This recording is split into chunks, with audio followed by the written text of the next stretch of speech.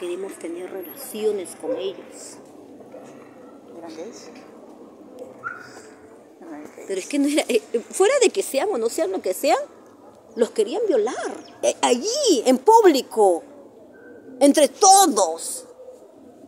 Esa era la ciudad que Jehová destruyó. ¿Y sabes qué hizo? Dios. Pero ni siquiera había un niño Los- bueno. Los niños también son buenos. Al menos los niños se hubieran La salvado. Biblia dice que no había niño Ahí estaban No habían- desde no niños hasta hombres adultos que querían hacer eso en ese momento.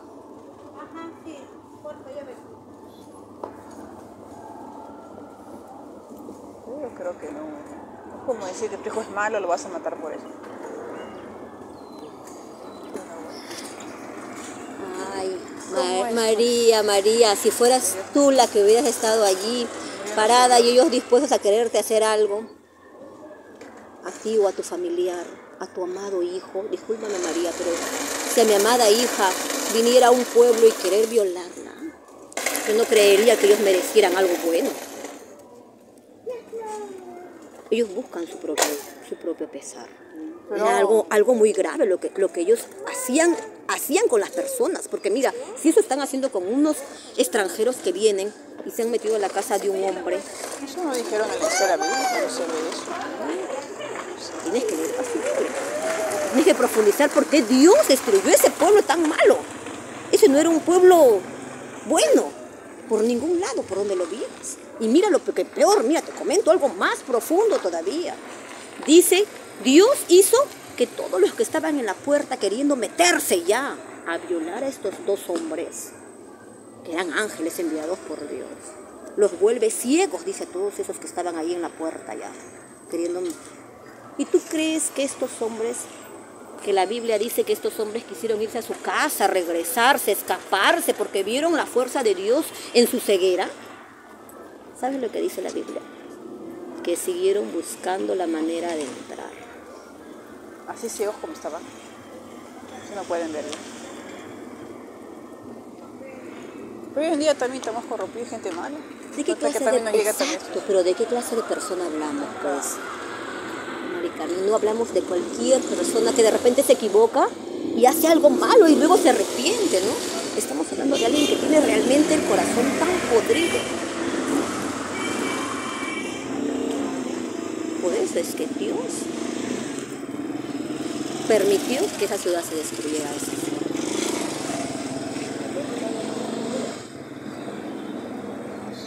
Pero murió quemado, así que horrible la muerte. Esto dice que fue una, algo volcánico, se ve los volcanes. Cayó, dice, del cielo cayó el fuego para que fueran destruidos. Dice, dice que la muerte más fea es ahogado. ¿ah? No, yo creo que es quemado porque también sufres. Toda la muerte debe ser fea, ¿no? en definitivo, ¿no? Y, debe y ser debe de generarnos un miedo, pero dice que la... Bueno, yo he escuchado, Yo según creo que ahogado y quemado es la peor muerte. No sé, Dios mío, quemado verdaderamente... vivo hoy, así como a las brujas, verdaderamente, el morir de por sí no debería de ser un parte de nosotros, ¿no? Por eso Jehová, que es un Dios de amor, promete la vida eterna. No te olvides de eso, Mari Carmen. Pero no se la promete tampoco a todos, sino realmente a los buenos. Porque mira, a ver, Mari Carmen, te digo algo. Aparte que ella también todos vamos a A morir. ver, Mari Carmen, ahora tú ves, mira, a ver, dime tú, ¿te parece justo lo que está pasando ahorita, Mari Carmen? No, bueno, tú trabajas y de repente estos delincuentes enteran que tú trabajas y comienzan a extorsionarte para que tú les des. Te roban tu plata. sí. Te Compras un celular bonito, te roban el celular. Te extorsionan también, porque tienes un buen trabajo, tienes que pagarme porque yo te voy a cuidar, dicen ellos. ¿Es justo eso? Tú trabajas para ellos, para que ellos vivan su vida y te vengan y te cobren cada semana y si no, te matan. Ah, esos son delincuentes, ¿no? Esa vida estamos viviendo ahora, Mari Carmen. Y dime, ¿y si, ¿y si Dios trae de nuevo a la vida la resurrección, ya en el paraíso, a toda la gente buena y mala? ¿Estaría bien? no, ¿Dónde está la le- justicia? Le gente buena nomás para que no haya ese problema. No no pueda Esa es la confiar verdad, en las marica. personas. Esa es la verdad, para poder vivir mejor, ¿sí o no? Gente que realmente quiere hacer las cosas bien. Que no quieran algo a cambio siempre. Es injusto que alguien... A nadie le interesa lo demás. Cada uno ve lo suyo. Así es, marica. Pero, pero mira, en medio de todo, si tú sigues las instrucciones de Dios, dice que nos volvemos sabios y hacemos las cosas mejor. Mira, yo no te puedo decir, Mabeli, mira, yo por mí, ¿no? Mabeli es una persona buena y va a ser siempre bien. No, porque yo también soy imperfecta, también me equivoco. Pero mira lo que me ha enseñado Jehová, mira con mis hijas, yo ya me detengo.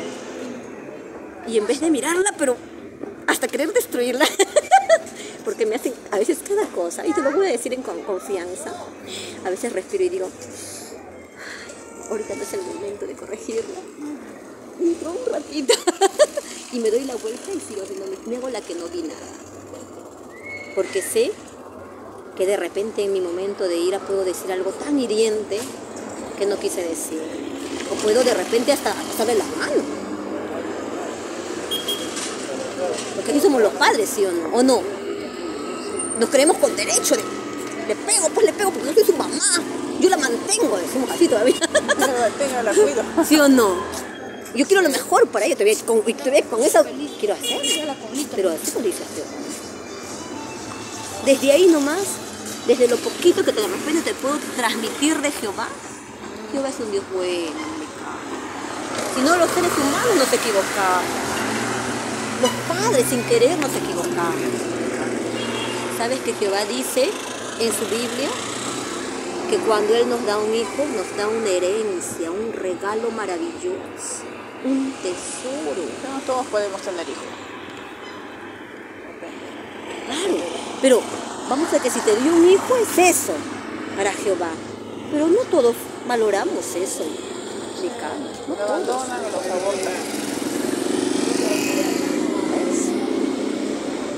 Algunas Pero- mujeres son tan jóvenes que no pueden criar hijos, se asustan de También. los papás que van a decir Sí. ya pues hacen eso también. Las circunstancias veces en las que se decir. También. Nosotros no estamos para juzgar. Lo que te quiero explicar es que la Biblia trata de ayudarte nada más. Ni siquiera te juzga, Mari Carmen. Jehová es un Dios tan bueno que ni siquiera te juzga. Dice que va a llegar su momento en que te va a juzgar, pero ahorita no. Te va a dar tiempo. Para que corrijas, para que mejores. Eso es lo que nos está haciendo, ¿no? Con nosotros. O va a también destruir así con fuego y con agua. Pero Mari Carmen, No vamos a morirnos quemados. pero Mari Carmen, no, pero Mari Carmen, ¿por qué te ¿Tú crees? ¿Por qué te destruiría con fuego y con, con agua si tú no eres como Sodoma y Gomorra? Pero hay mucha gente que sí se hacía acá. Vivimos con gente mala hoy en día. Pero, pero dime, No Mari Carmen, pero no Mari es Carmen, Mari Carmen, hoy en día hay jóvenes de 15 años que van con un arma y matan, ¿o no? Solo de repente. La necesidad hace que también se puedan así. Algunos. Pero bueno. Pero dime, Mari Carmen, si tú tienes, camino, pero bueno. si tú tienes, dime, dime, si tú tienes, tú estás criando en tu casa cuatro gatitos y los quieres a los cuatro y uno se vuelve malo, lo mínimo que harías no es separarlo y sacarlo de ahí. O dejas que él lo aboye todo lo demás.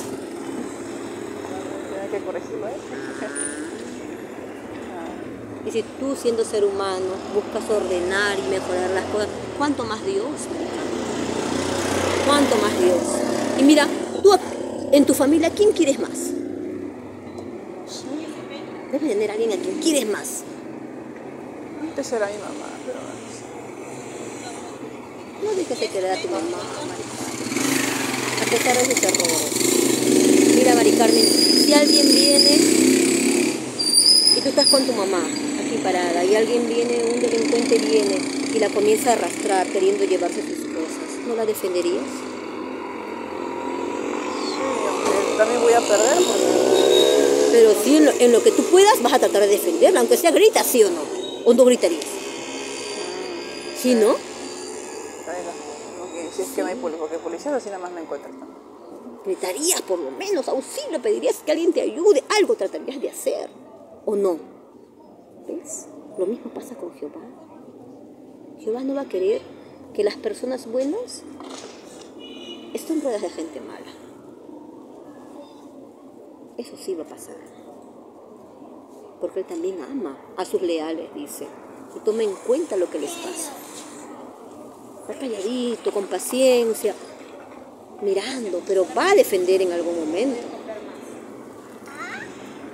Ay, Carmen, la historia de la, de la Biblia es algo muy interesante. Yo también en algún momento me cuestioné el tema de por qué fue destruido Sodoma y Gomorra. Pero cuando lo leí profundamente y medité en cada cosita y me quedé tan asombrada de todo lo que estaba pasando allí, definitivamente Jehová no se equivoca. No se equivoca. Han terminado así esa gente. Y hoy en día dice que han, han- han hecho entrevistas ahí de cómo está ese lugar, ahí todo ahí. La Biblia dice que no iba, ahí no se volvería a construir nada. Y por más que han intentado, hasta ha habido económicamente millonarios que han querido hacer zona turística de Sodoma y Gomorra, no han podido. La Biblia dice que eso será ruinas hasta el último día, hasta que Dios vuelva a ser un paraíso esto. Eso no va a poder ser otra cosa. ¿Qué- qué- ¿Y por qué no han podido? O sea, se destruían las cosas ahí. Sí, la salitre, el sal, nada hizo posible. La Biblia sigue cumpliendo, si se va a seguir cumpliendo. Por algo dicen las cosas. ese lugar quedó maldito para que nadie viva ahí. Pero ¿qué se habría visto? ¿Cuántas mujeres habrían sufrido ahí? hasta allá a ver cómo quedó todo, ¿no? Dime, dime, ahí, dime, ¿cómo? Mari Carmen, si estos dos, solamente, la Biblia cuenta solamente la historia de estos dos jovencitos que estaban ahí de pasada y que los quisieron violar. Pero no cuenta la historia de cuántas mujeres que pasaron ahí. ¿Cuántos jovencitos también de ahí que pasaron? Cuenta más allá. ¿Qué habrá pasado allí? Pues, ah, sabemos, ¿no?